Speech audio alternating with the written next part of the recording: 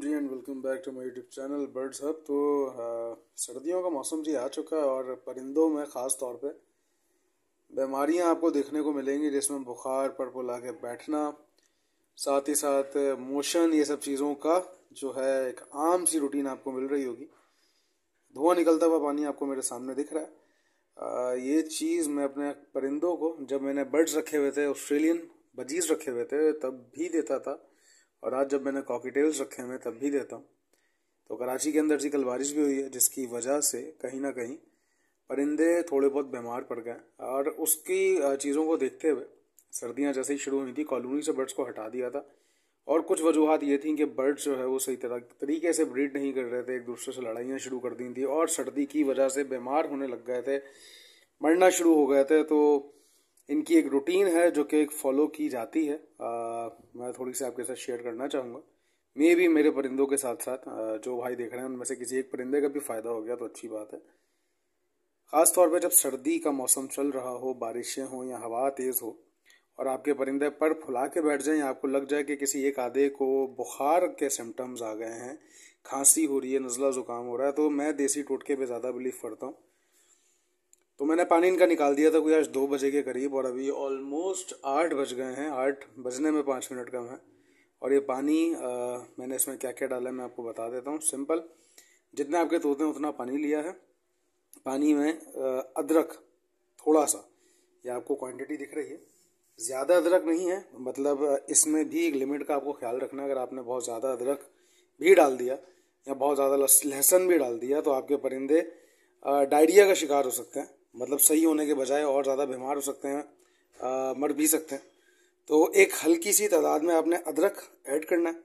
साथ बिल्कुल जितना अदरक आपने ऐड किया है यानी कि अगर इतना अदरक डाला है तो उसका आधा हिस्सा आपने लहसुन का डालना है और उसको अच्छे तरीके से पका लेना है। तकरीबन पंद्रह बीस पच्चीस मिनट अच्छे तरह से पानी को आपने उबालना है। उबालने के बाद कोशिश करना ढक के उबालना उबालने के बाद आपने इसको ठंडा होने देना है। ऑलमोस्ट ये तकरीबन आधा घंटा लेगा आधे से पौना घंटा।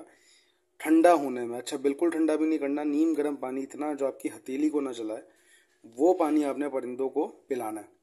अब इसका प्रोसेस क्या है? एक दिन पिलाने से कोई फ़ायदा नहीं होगा, सबसे पहली बात, अगर परिंदा बीमार है, अगर आपको लगता है कि आपने एक दिन पिला दिया तो तो अगर ये चीज़ लगती है कि आपने एक दो दिन, एक दिन पिला दिया, दो दिन पिला दिया तो आपके परिंदे ठीक हो जाएँगे तो ऐसा बिल्कुल भी नहीं है। कम अज़ कम ये पानी आपको इनको तकरीबन पाँच दिन तक पिलाना है। और दिन में एक दफ़ा पिलाना है, क्योंकि इस पानी की तासीर बहुत गर्म होती है। अब गर्म की वजह से अगर आप इसको ज़्यादा रूटीन में रखते हैं तो आपके परिंदों को मोशन लगने का खतरा है और बीमार होने का खतरा है। ख़ास तौर पर ये उस मौसम में पिलाया जाता है जब बैक्टीरिया बहुत ज़्यादा होता है, ठंडी हवाएँ होती हैं बर्ड्स के बीमार होने के चांसेस बहुत ज़्यादा होते हैं, क्योंकि अदरक और लहसुन बेसिकली इट सेल्फ एक एंटी बैक्टीरियल का काम करता है तो मेडिसिन से बेहतर ये चीज़ जो कि एक अरसे से मेरा अतमाद इस पर है। तो मैंने कहा आप लोगों से सजेस्ट करूँ, आप लोगों को दिखाऊँ। परिंदे भी आपको दिखा देता हूँ कि किस कंडीशन में है, किस तरीके से हैं। माशाल्लाह परिंदे अच्छी कंडीशन में हैं। थोड़ी सी सेटअप के चेंजिंग्स किए किए हैं केजीज वगैरह नए लेके आया हूँ तो वो मैं आपको दिखाता हूँ। तो अभी माशाल्लाह से जी केजीज को जिस सेटअप पे रखे हैं, ये वो हैं जो अभी ब्रीड नहीं कर रहे थे। और मेरे पास थोड़ा स्पेस भी इनके लिए कम था। माशाल्लाह ये ब्रीडर पेयर नीचे लाइन से लगे हुए हैं। तकरीबन तीन चार पेयर हैं और पानी के लिए अब ये बिलक रहे हैं। ये मेरा प्यारा सा शहजादा। हैंड टेम है। और पानी का प्रोसेस क्या होगा? सबसे पहले बर्तन अच्छे से धो लेना है आपने।